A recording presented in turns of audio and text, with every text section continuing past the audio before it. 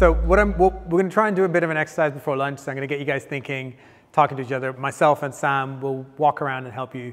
So just quick uh, intro to myself and Sam. So I'm, I'm the director for innovation and development.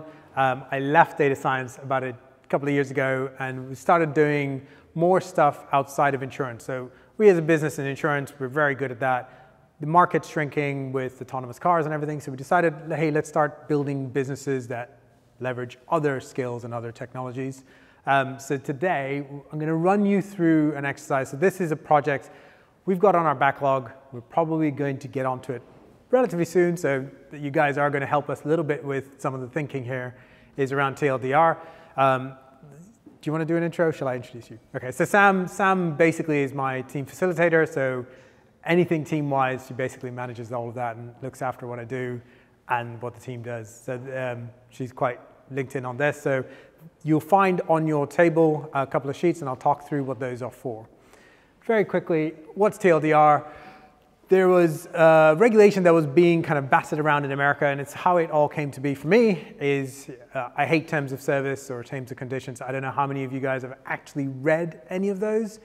They are incredibly horrible and I'll be honest, the few I've read, I went, okay, I, I'm not sure I can sign this. For one thing, it sounds horrible, and I'm not actually sure I want to sign this away. So they are not set up to give people what I would define as informed consent. So for those of you who were here yesterday when we were talking about the AI ethics and um, the whole concepts around kind of design with trust and making sure that things are built with us as consumers in mind, that concept of one size doesn't fit all. You know, we heard a couple of the last, uh, the second to last speaker talking to that point, right? So the idea really came about from, okay, can we take these really complicated documents and simplify it? Of course, OpenAI chucked out ChatGPT and GPT-4, and then that became much more, oh, actually, we can do this. This is a possibility. So I'm not trying to lead you guys down a pathway here in your idea, but that's where my thinking went, that's where the team's thinking went, and we started kind of looking at this. So I'm going to not talk for too long, and I'll bring this slide back up so you've got the problem statement. But a real bit of background, what I feel is very important is to ensure that people have the ability to know what they're signing up for. So I want to be able to, from my, uh, from you know, the products I'm releasing, that we give terms of service that are straightforward and simple. We've done a lot of research with the university here in Bristol around explainable AI. More importantly, how do we take what we do from a, let's say, data science perspective and explain it to the general public in, uh, the, excuse the, uh, the phrasing, but layman's, right? How do you put it in simple, straightforward language that anyone can pick up and go, oh yeah, okay, I get that, right? I'm happy to give you my data. I'm happy for you to do that processing. So that's kind of where it all came from. And then, of course, then that laddered up to go, well, why can't we do that across everything and the way that we operate? So that's the background. Again, you know, there's more text there, but essentially what I want to be able to do is anybody can access it. It's set up as a tool for literally even the youngest of us, right? Um, so that's the problem, and I want to talk about the process. And I'm going to really speed run through this, uh, and uh, you'll, uh, you'll see why, because uh, I'd like to give you as much time to do the, do the actual thinking as possible. So design thinking is a process that we apply internally quite heavily. This is not ours or mine. Uh, the one that you're looking at is actually designed by IDEO, a design thinking company. They do this in, uh, for real.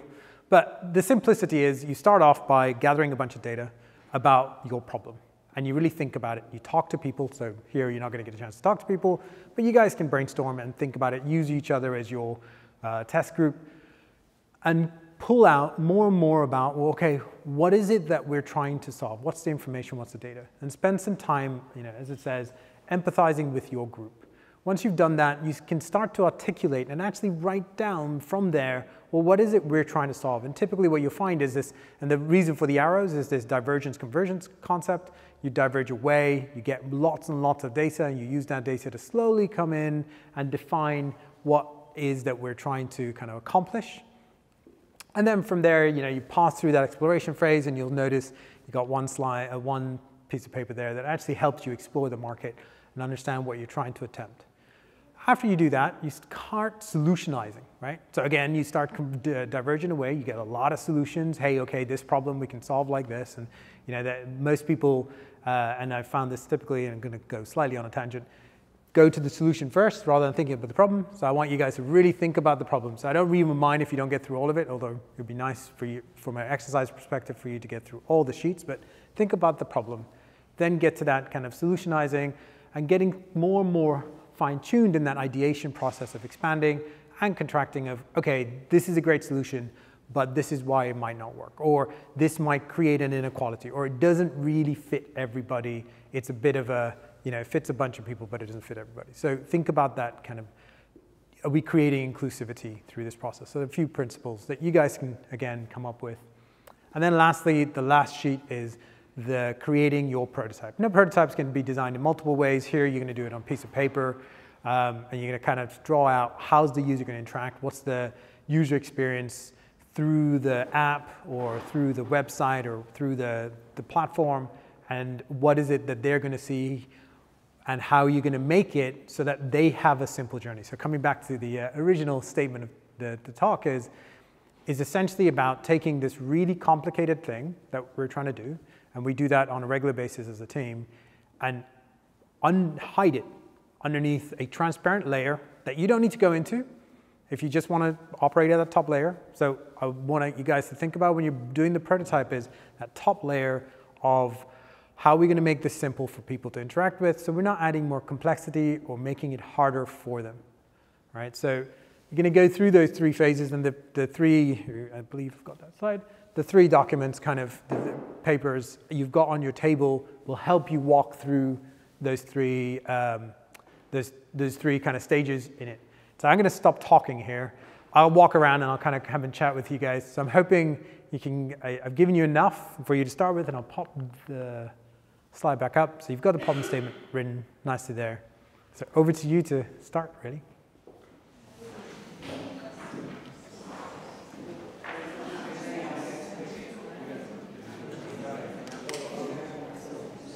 you can focus it on whatever you want.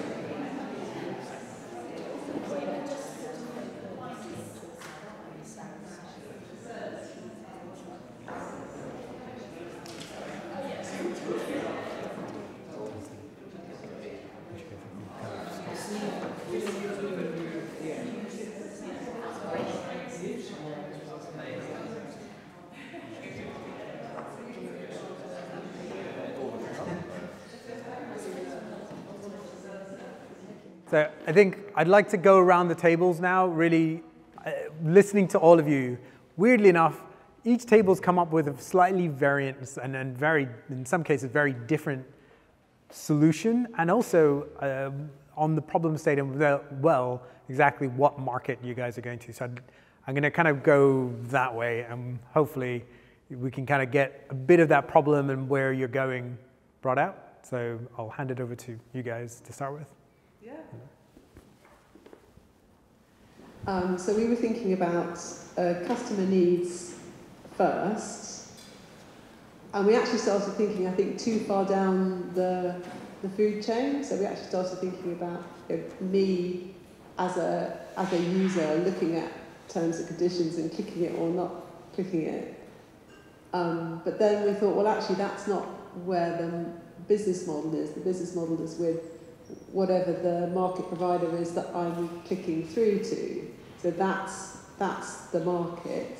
So we were thinking contract lawyers, technology lawyers embedded in companies that are in a kind of sweet spot somewhere between startups and big SMEs, probably, because the, the really big primes, the Googles and Apples of this world, I'm not sure they care very much or are worried very much about, about um, legislation or paying fines. And then at the bottom end, you've got open source and Creative Commons type activities which are not relevant either. So it's that the market is somewhere in the middle.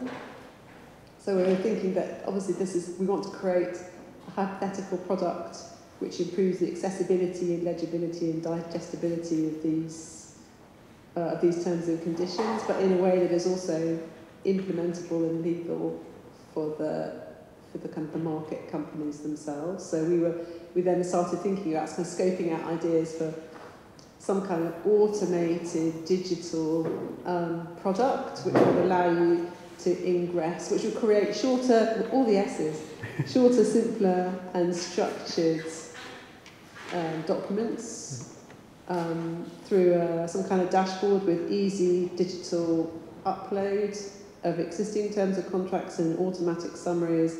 And then a kind of virtual cycle of review processes for, for lawyers. And that's about as far as we got.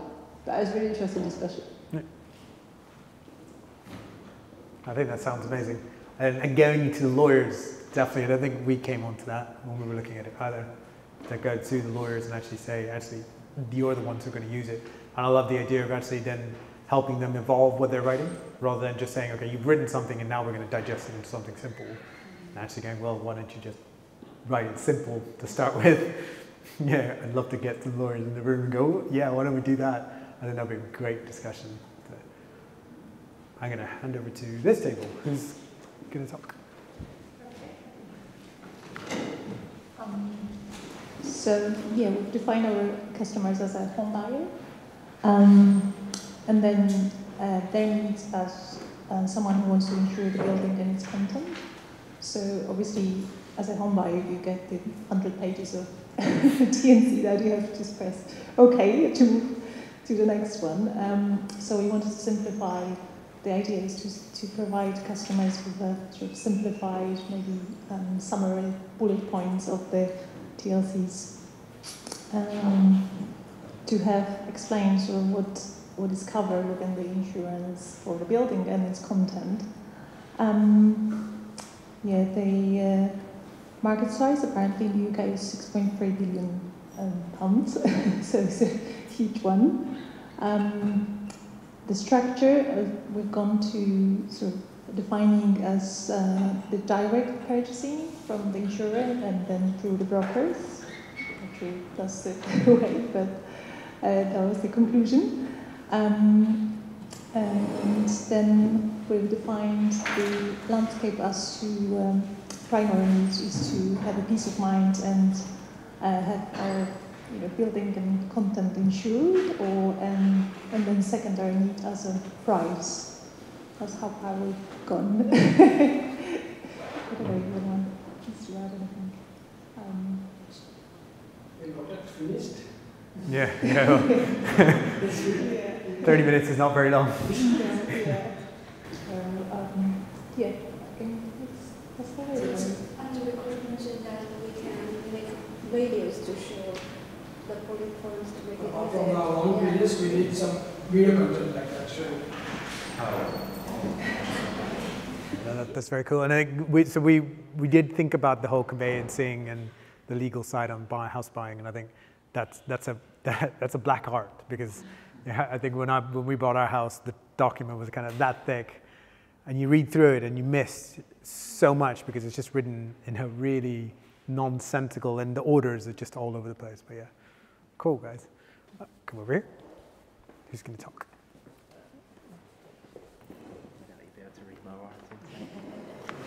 Hello. Um, so we decided to go with um, UK voters and kind of looking at breaking down complex political manifestos.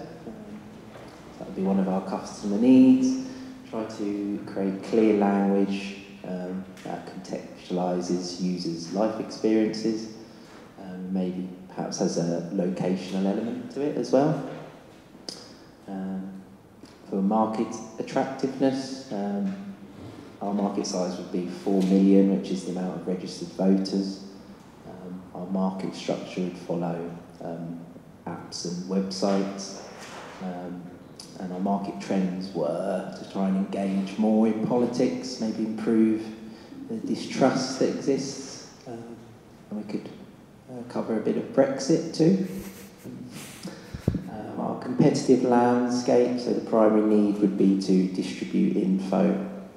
Um, the secondary need could be to decide between different parties and encourage voting.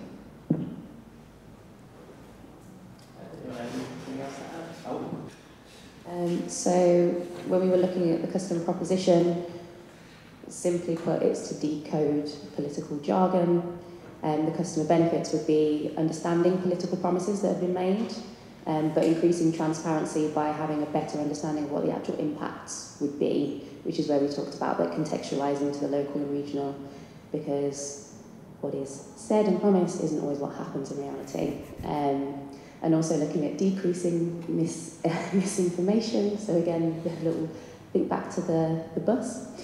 Uh, and then sort of the features would be around having um, an overall summary that's easily in easily digestible format, but again with that contextualised to individuals, so you can look at the local, regional impacts, what would the national impact be, and then potentially some of the policy areas have global reach and impact as well. And in terms of our business model, we would want to make it free to the public, so we would be looking at how local authorities would be essentially be paying for it. Um, and then we looked at an app and web-based to sort of allow for differing levels of digital literacy. So if people don't have smartphones, then they can still go into, say, Citizens Advice or local libraries, who can then access it um, via the web. Um, but we didn't get further around that business model of like how that works in practice. That's very cool. very, very cool. Didn't, we didn't think about politics as a place to go, and I think that's a whole other minefield to break into. Well, I, you know, the whole Brexit thing, I think it's a really good point. Demystifying some of the concepts and, and what's actually being put out there is quite important. So, uh, who's going to talk from this table? you do. No, you do. You're much better. So we spent a long time talking about the market opportunity and trying to decide on a target customer. And that's basically as far as we got. Um, we were trying to understand, we can see really the needs of the person clicking through terms and conditions, but we were trying to understand what that actually gives. And we hadn't landed actually on mid-level companies. We were trying to understand how maybe Amazon could benefit from this. Uh, and we talked ourselves into kind of a circle, thinking that maybe it would actually be harmful to somewhere like Amazon, where people might actually see something, understand something that they don't like, and try and take action. So um, we didn't get much further than that. We were thinking about maybe in these large companies, we would be targeting specifically uh, bringing together people from legal and sales and maybe IT who are going to be working with this, and, and how do we bring them together? Something that kind of automates in some level translating these terms and conditions while actually uh, continuing to kind of cover legally the reasons that we have them in the first place. Um, yeah. Just that we, we kind of realised um, that we need a lot more research and, yeah. and maybe we, we uh, we're bunch of skeptics because we were like, yeah, we kind of get you, we kind of get your issue, but we need to understand a bit more um, the research. Yeah, do people make purchasing decisions based on transparent terms and conditions? Is this actually going to, you know, harm companies like we were saying because people might know more and spend differently, and so we needed a bit more information. And I guess, is there a market drive, even if there are better terms and conditions, are people going to read those at all? Or are people just going to say, my data is everywhere anyway, who cares? Yeah, I think it's interesting because this is a debate that you have with customers is customer sentiment versus behavior. They're very, very different things, right? Everyone wants to know what's going on and you know sign up for those things, but then you ask the question about would you spend five minutes looking through something? Uh, you know, again, cookies are a great example on websites, right? How many people actually spend the time to look at what cookies are being accepted, or you just hit the ah, accept the cookies and just go with what they're asking for? You know, changing customer behavior is a challenge. I love the debate around, well, is this not going to be harmful for our customers? Because, you know, the transparency isn't always a good thing. But I think, again, like I said, 30 minutes is not a long time. We typically take roughly a month to go through this. So, you know, we did really kind of, you guys got through this a lot faster than I thought. The last time we ran this kind of session, it took uh, a couple of hours before, you know, some of this stuff got filled out. But the, the, the challenge I think I was trying to put out is um, the way that we approach designing concepts, you know, taking an idea from really this, even, even before this stage of not even having that problem statement written down, to getting a proposition out, it's all driven through, let's capture some information, let's get some data, and it's all about data, right? And the power of capturing information, whether it's qualitative or quantitative, is huge, and then spending that time to analyze it the more time you spend analyzing it, the more likely you're going to get a product that is actually fit for the end customer. So, you know, I just wanted, I think when I was asked to give this, is I was thinking, well, actually, it'd be great to walk you guys through the process we follow. I think the insights you're all coming with, well, we need more research, we need more information. That, that is 100% true. Right. Um, I think that's, that's it, really. Thank you so much to you both for coming this morning. Let's give a round of applause.